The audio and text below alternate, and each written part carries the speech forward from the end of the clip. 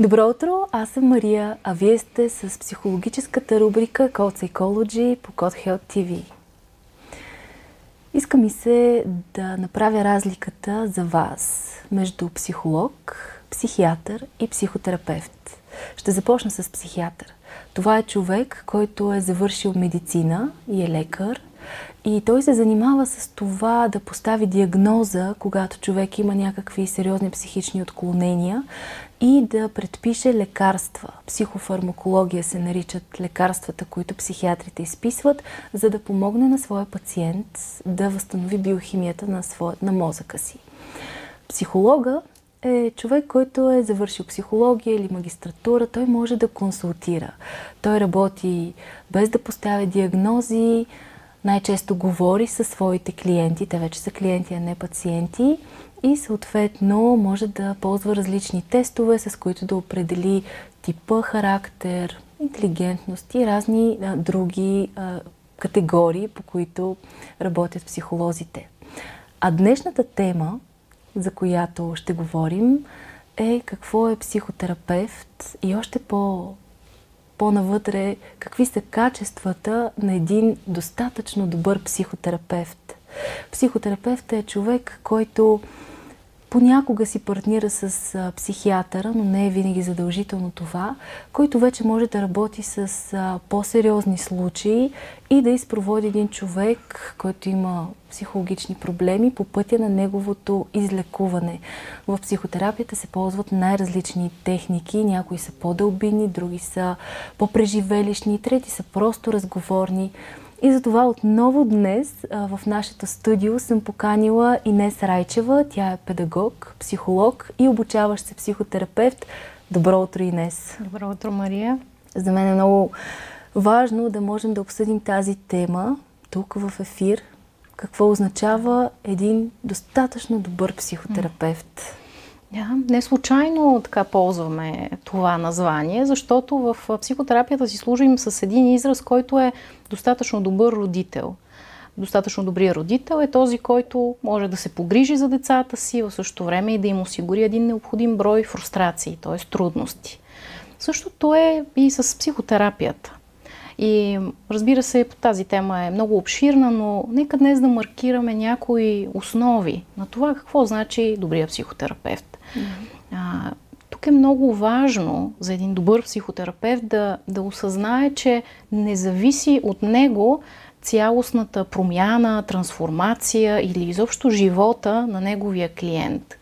А, струва ми се, че битува едно такова разбиране, че психотерапевтите управят живота на клиентите си, че един човек може да отиде, да седне на диванчето и това автоматично да реши всичките му проблеми. Това по-скоро смесва психотерапевта с ролята на психиатъра, който предписва лекарства и както сме свикнали, като ходим на лекар, нещо ме боли, доктора оправи го, нали, като все едно влизаме в при автомонтьора. Да. Точно така. И дори тук има една още по-голяма дълбочина и тя е, че в това, в това убеждение клиентът възприема своя психотерапевт като родител, като един съвършен, недостатъчно добър, един съвършен родител, който ще го обгрижи, прегърне и разреши всичките му казуси и ще го обича безусловно.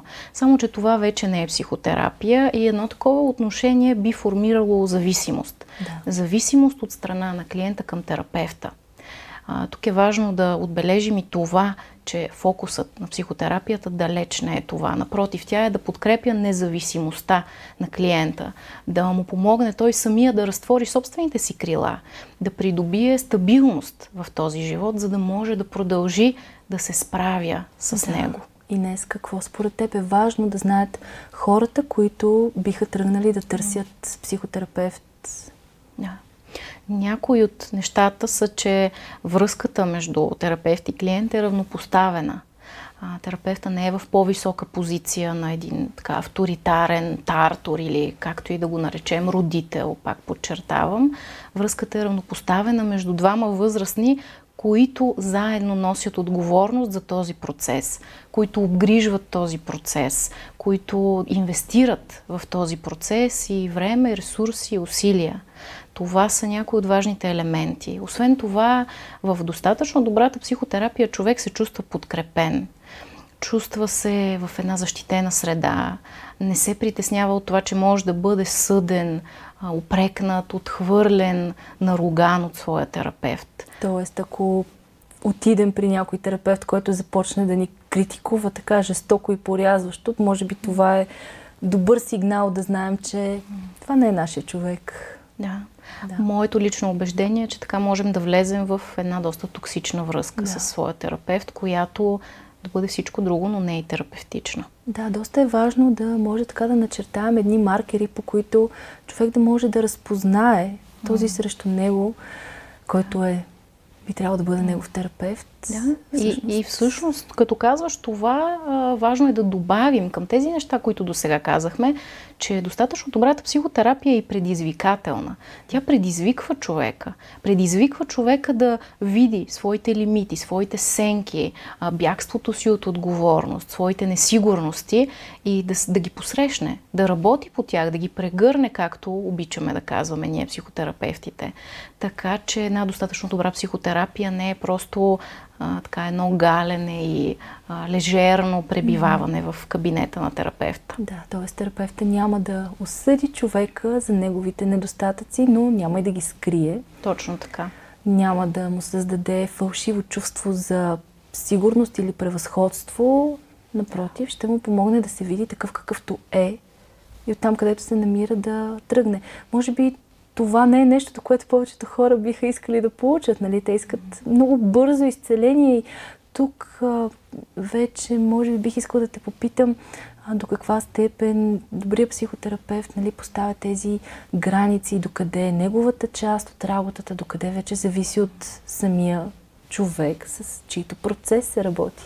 Да, това е много важен момент. Най-простичко казано, от терапевта не зависи нищо, което се случва отвъд а, така, границите на неговия кабинет. Това, което се случва отвън в живота на клиента е изцяло отговорност на самия клиент, когато, разбира се, тук говорим за едни зрели пълнолетни хора, които така сами взимат решения в живота си. И тук го има риска, което понякога съм наблюдавала да се случва, самите терапевти да влязат в позицията на това да са фиксирани в крайния резултат, в това да искат да помогнат на всяка цена, да изкарат човека от неговата трудност. Това всъщност, може би противно на повечето очаквания, води до по-скоро саботаж на терапията. Води до така, появата на страшно много съпротиви в клиента и в крайна сметка така, връзката, терапевтичния мост между тях рухва. Така че ролята на терапевта не е той да спаси клиента си, а да го подкрепи в това клиента сам да открие своите отговори и своя път, по който той сам да избере да тръгне. Да, може би връзката психотерапевт-клиент, когато се изгради подобна връзка в живота на човек, някак си помага на човека да започне да изгражда и другите си връзки от позицията на някой, който вижда себе си такъв какъвто е и не се опитва да се прави на нещо различно. Точно така.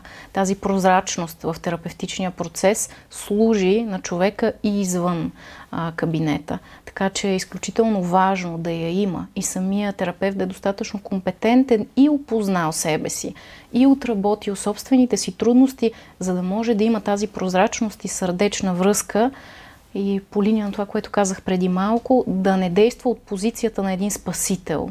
Спасителя, който иска да помогне на целия свят да. по възможност, което е така една красива фантазия на много млади хора, които записват психология в университета като специалност, но уви, така да. не е това смисъл. Тези млади хора, които и ние бяхме, Точно така. всъщност на първо място трябва да помогнат на себе си.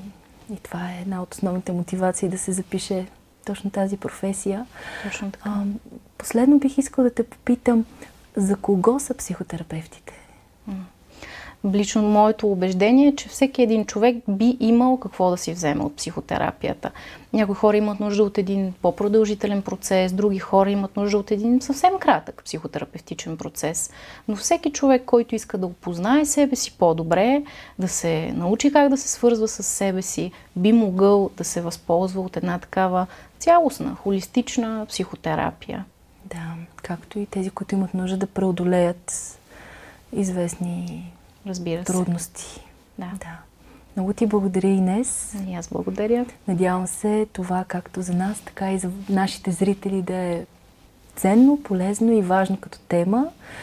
И с това да намерите една наистина качествена и добра връзка с себе си. Ви пожелаваме прекрасен ден!